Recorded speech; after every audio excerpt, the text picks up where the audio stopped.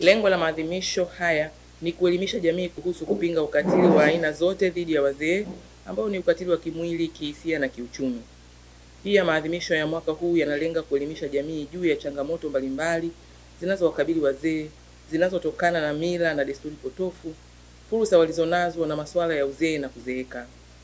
Hivyo nasisitiza kila mkoa kufanya maadhimisho ya siku hii ya kupinga ukatili kwa wazee ili kujenga uelewa katika jamii kuhusiana na masuala ya ukatili hususan ukatili kwa wazee.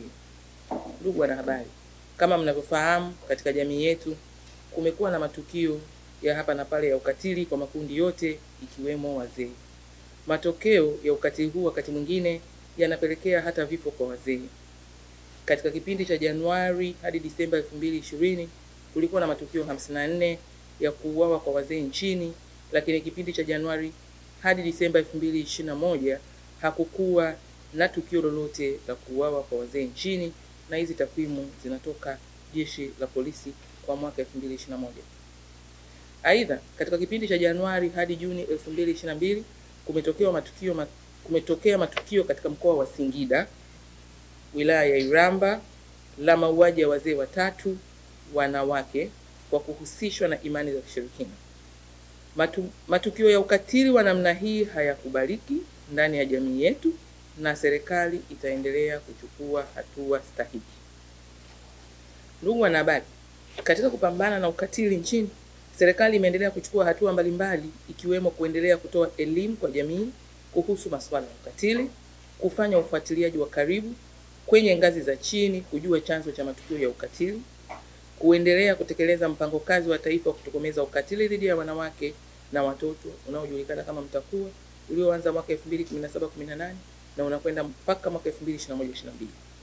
Lakini serikali imeendelea kutekeleza mpango wa kitaifa wa kutokomeza mauaji ya wazee, mpango ulioanza mwaka 2018-19 unakwenda mpaka mwaka 2022-23 na imeendelea kuchukua hatua kali za kisheria kwa vitendo vyote vinavyoashiria ukatili dhidi ya wazee nchini.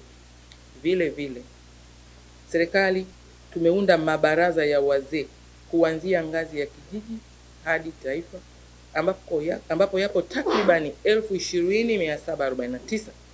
Mabaraza haya kwa kushirikiana na serikali na wadau mbalimbali yatumike katika kutoa elimu kuhusu ukatili, kuhamasisha jamii kupinga ukatili, kutambua viashiria vya ukatili na hata kutoa taarifa za ukatili kwa wakati katika vyombo husika.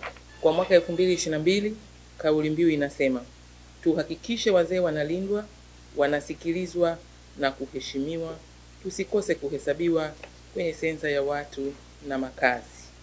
Narudia tena, kauli mbiu inasema kwa mwaka huu kwamba tuhakikishe wazee wanalindwa, wanasikilizwa na kuheshimiwa, tusikose kuhesabiwa kwenye sensa ya watu na makazi.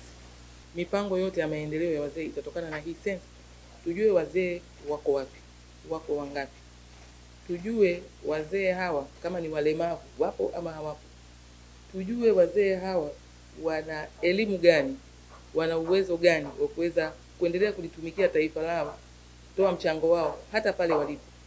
Tujue kupitia mabaraza hayo ambayo nimesema yameanzishwa, hoja zao ni zipi, na kama hizo hoja zinataka kufanyiwa kazi na serikali, wangapi wameshiriki, asilimia ngapi kuibua hizo hoja. Kwa hiyo takwimu zina mambo mengi. Ukija serikali ikiamua labda kuwapatia motisha motisha au, au maslahi fulani au kitu fulani, itenge kwa ukubwa gani? Wenzetu wa Zanzibar wazee wao wanapewa posho kidogo labda hivi ya kujikimu. Je, sisi tukitaka kwenda kufanya hivyo hesabu yao tunayo au hatuna?